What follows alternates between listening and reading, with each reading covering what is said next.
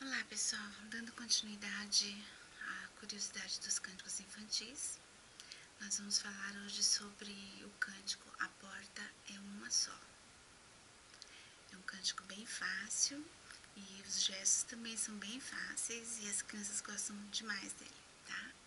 Então, uma das mãos aberta, mas com os dedos bem juntinhos, uma das mãos é a porta, tá?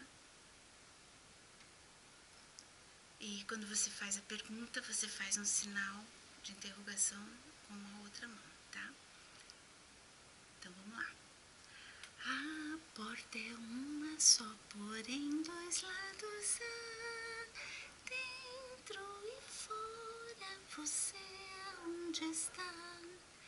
A porta é uma só, porém dois lados há.